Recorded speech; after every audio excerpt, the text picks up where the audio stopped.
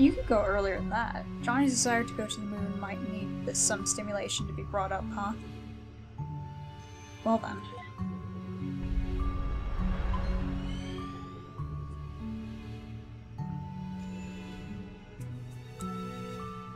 What the? This wasn't what they said was playing. Oh well. Do you mind, River?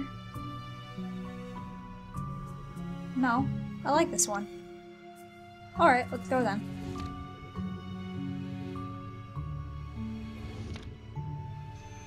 Hopefully that's enough for an ignition. Wait, where's where's Neil? Is he gonna be in the theater enjoying the show? Oh, nope, he's not here. To the moon, darling. Ew, Henry. Dear lord, I'm way too tired and hungry to be constructing movies. Guess I should see if anything's changed with John. Okay. Sorry for making you sit through this, buddy. To moon. Where is Neil?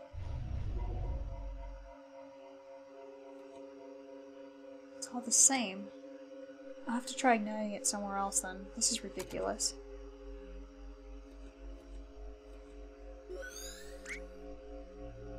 L Lily? Sorry. Made your friend disappear.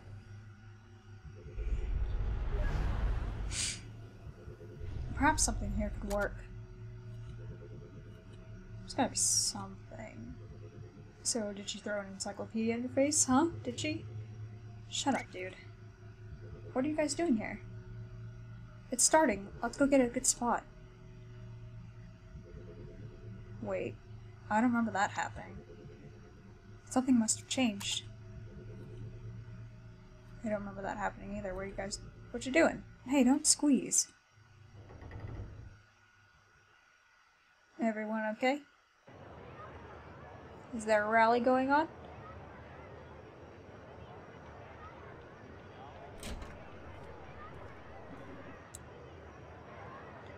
Wait a minute.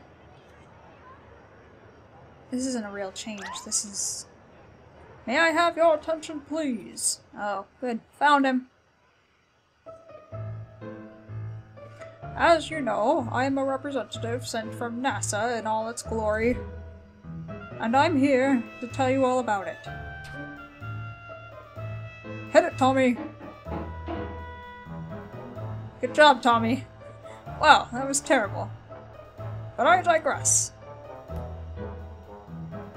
Anyways, I know that many of you are wondering,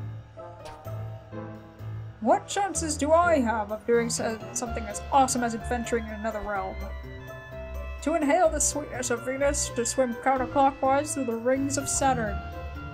Or, perhaps, just chilling at the backside of the moon? Well, here at NASA we believe that with enough will, everyone has potential. It could be you! Or you! Or perhaps you!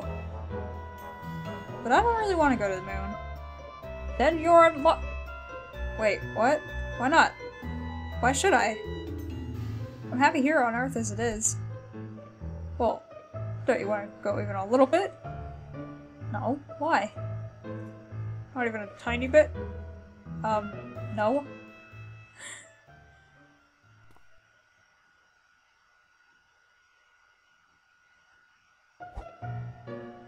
Well, as an official NASA recruiter, I shall go over some facts about the moon. To start off with, the moon is 4.5 billion years old. And did you know that its surface is about as big as Africa? I didn't. It's true. In fact, if you try to bike around the moon, Also, it takes 1.5247 seconds for light to travel to the moon from here. And if you drive a flying car, it takes 130 days. I knew that. and last but not least, people who go to the moon get rich and famous. We all know that rich plus famous equals groupies. So, that concludes my presentation. Remember, NASA welcomes any of you, especially if you're a brunette. Genius, Neil. I'm- that would have sold me. I mean, after that presentation, who wouldn't have wanted to go? Well, what did you think? NASA probably wouldn't hire you, but I suppose it was blatant enough for this. Uh, I do try pretty hard. Are you gonna go see if it worked? Of course. You're right back.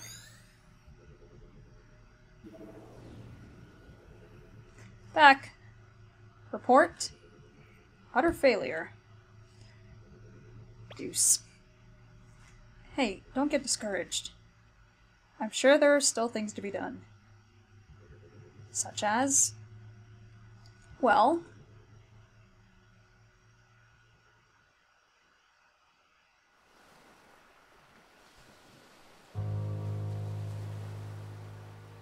Uh oh, doesn't sound good. Again. Can't afford to finish building this house, Isabel. We can barely afford to pay for a tree. But you can afford the lunar trip lottery. If you sell this house, you sure can. Is the diagnosis certain? Yes, in fact, we were did you know that NASA has excellent health care plans? It's true, for both of you and your spouse. They're not married yet. Free pony rides in space! You guys are getting pretty desperate, aren't you? Oh look, a wedding, good for you.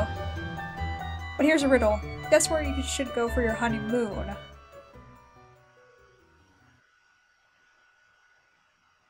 Did it work?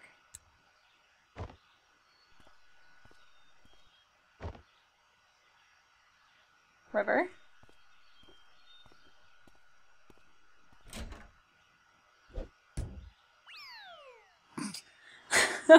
you tried. Dagnabbit glass slippery. Johnny? J John? What the cucumber? You know what? This just isn't working. It's more than just not working, it's ridiculous. We're freaking professionals. I didn't sign up for the job to run around yelling at him like an idiot. You didn't? Look, maybe this lack of sleep's getting on us. Getting to us, sorry. Had I known that we'd be an all-nighter, I would have brought coffee. I agree. You should have seen the movie I constructed earlier. What movie? Exactly. Anyway, as valuable as time is here, this just isn't going anywhere like this. Let's take a break till morning. Hopefully Johnny can hang on till then. I do have some calls to make. Such as...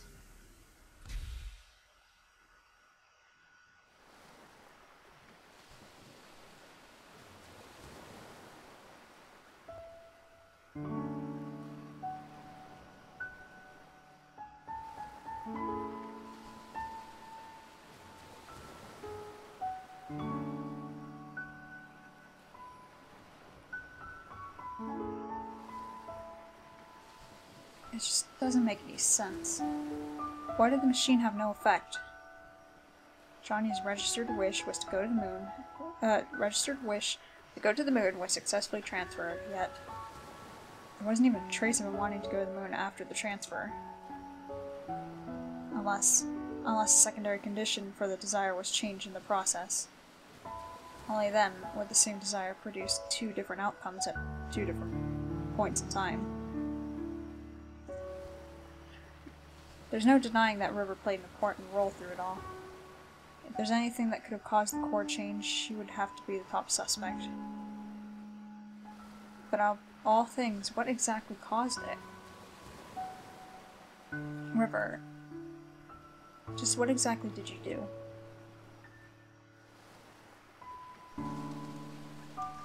Interesting.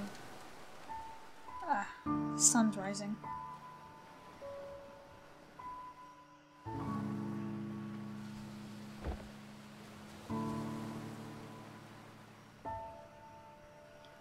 Don't have much time left.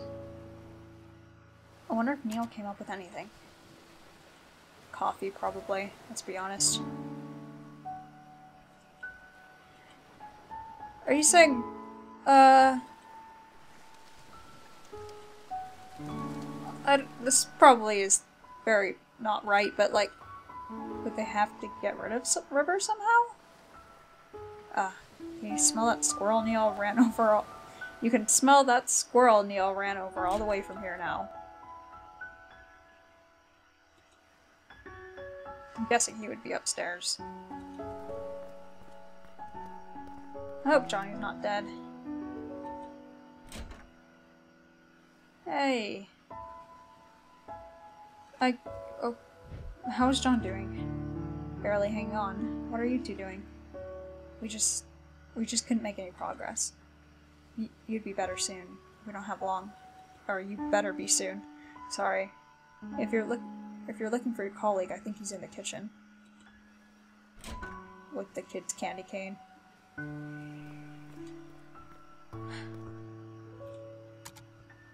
Huh. I should probably save, by the way. Actually. I shouldn't be playing longer, but I'm going to play longer because I want to. This is making me very interested. This is the bathroom, not the kitchen. Oh, I remember where the freaking kitchen is. Down here, in that door.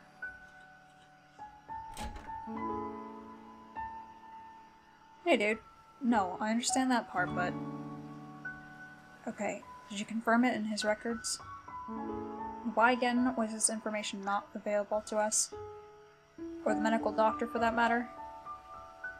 Where'd you get that coffee? Shh. Are you speaking with the headquarter? Yes, I'll fill you in after. Now, shh.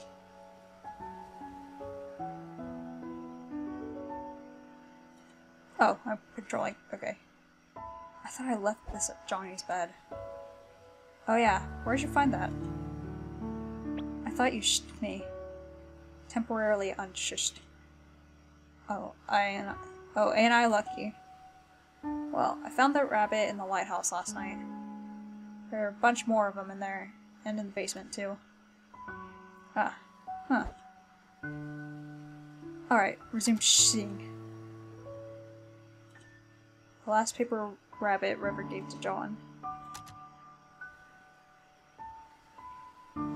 Okay, what else am I doing then? I'm gonna leave him in the dark. Where's Lillian? children? Sarah and Tommy, I think that's their names. Okay, maybe in here? Oh, hey. But Ma, I don't want to go to school. It's Sunday, dear. Shh, let them sleep. What happened there? What up with the...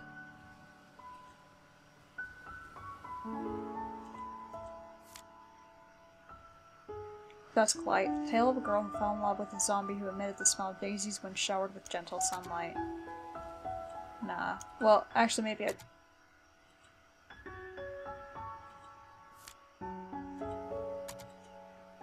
I don't know, I guess. Uh, maybe another year. Sorry. Okay. Almost stepped on the paint.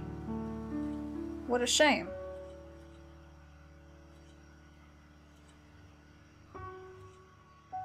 Okay.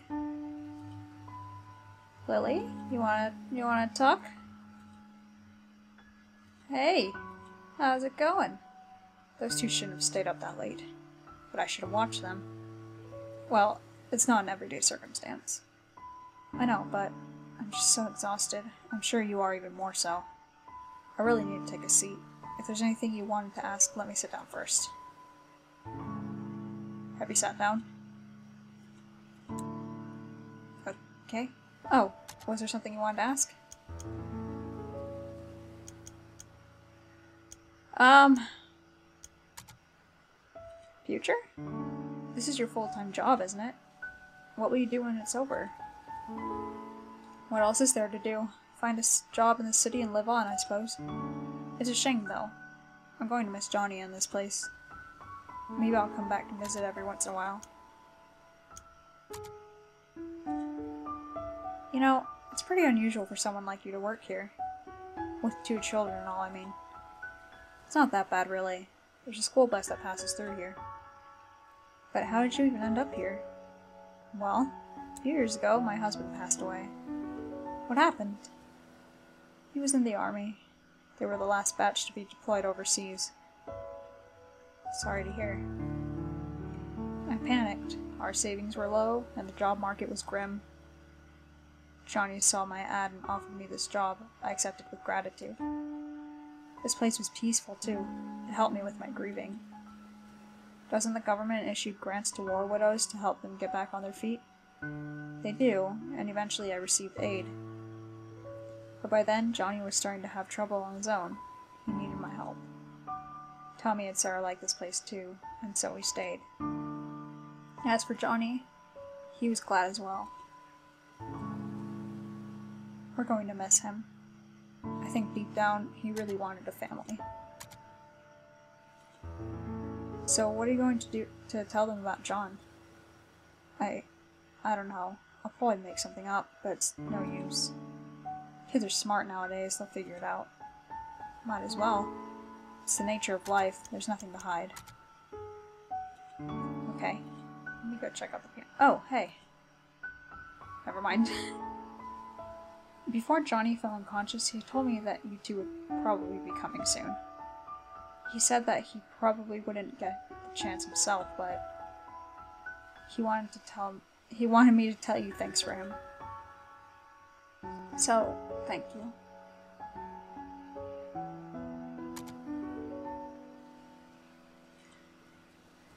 Just doing my job, yo. Alright. Oh. What kind of song is this? It's just two notes repeated over and over that can still be a nice song. You're so negative. I guess I'll go see Neil again. Not that he had anything valuable to say before, but I'll go again.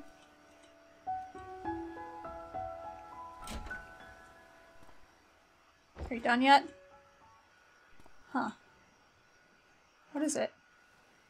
It seems like our little Johnny here has some hidden records from the old days. Hidden records? Hidden medical records to be exact. Apparently, during his youth, he was administered a large dose of enhanced beta blockers. And what luck! They tend to have this little side effect on a curious thing called memories. Beta blockers. Johnny didn't have a heart condition, did he? Apparently not.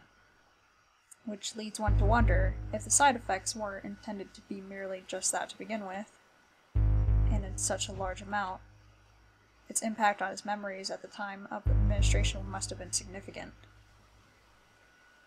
You think that's what kept us out of his early memories? Well, it's not the machine, I'll tell you that. The maintenance department yelled at me for scolding them.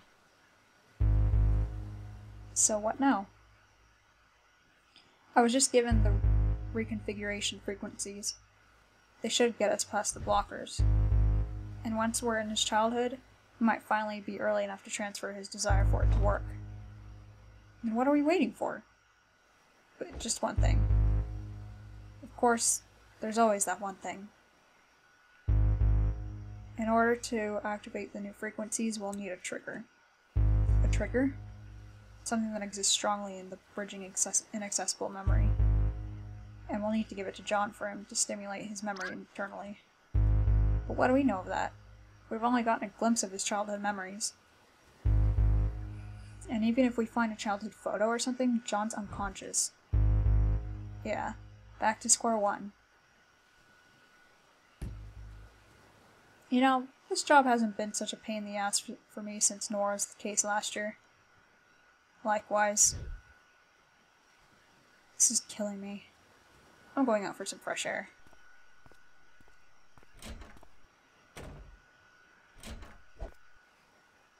Wait, ahem, forgot my coffee.